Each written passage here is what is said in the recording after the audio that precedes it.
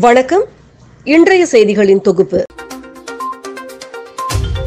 Tiruchengode Vellore road சிஹெச்பி காலனியில் அமைந்துள்ள ஐயப்பன் கோவில் மண்டல பூஜையில் கேஎம்டிகே பொதுச் செயலாளர் இஆர் ஈஸ்வரன் எம்எல்ஏ அவர்கள் கலந்து கொண்டு சுவாமி தரிசனம் செய்தார். திருச்செங்கோடு சட்டமன்ற தொகுதி மல்லசமுத்திரம் ஒன்றியம் அரசு ஆண்கள் மேல்நிலைப் பள்ளியில் திருவள்ளுவர் சிலை திறப்பு விழாவில் கேஎம்டிகே எம்எல்ஏ அவர்கள் கலந்து கொண்டார். பின்பு அப்பள்ளியில் நடைபெற்று வரும் சுற்றுச்சுவர் கட்டுமான பணியினையும் ஆய்வு செய்தார்.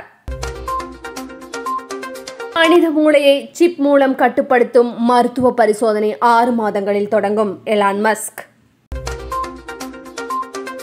பத்தொன்பது வயது கல்லூரி மாணவனை நிர்வாணப்படுத்தி வீடியோ எடுத்து ரூ அறுபதாயிரம் பணம் கேட்டு மிரட்டிய மாணவர்கள் கைது. தமிழ்நாட்டில் இன்று முதல் ஐந்து நாட்களுக்கு ஓரிரு இடங்களில் மழை பெய்ய வாய்ப்பு. சென்னையில் ஒரு சில பகுதிகளில் மழை பெய்யவும் வாய்ப்பு. தஞ்சை பெரிய கோவில் கோட்டை சுவரில் மின்னும் ஜி டுவெண்டி அடையாள சின்னம்.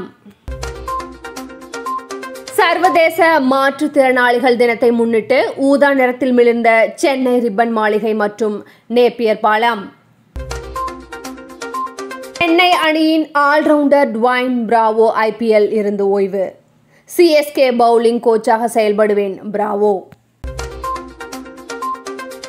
இரண்டாயிரத்தி இருபத்தி மூணாம் ஆண்டுக்கான மினி ஐபிஎல் ஏலம் டிசம்பர் மாதம் இருபத்தி மூணாம் தேதி கொச்சியில் நடைபெறும் என அறிவிப்பு. இத்துடன் செய்திகள் நிறைவடைகிறது.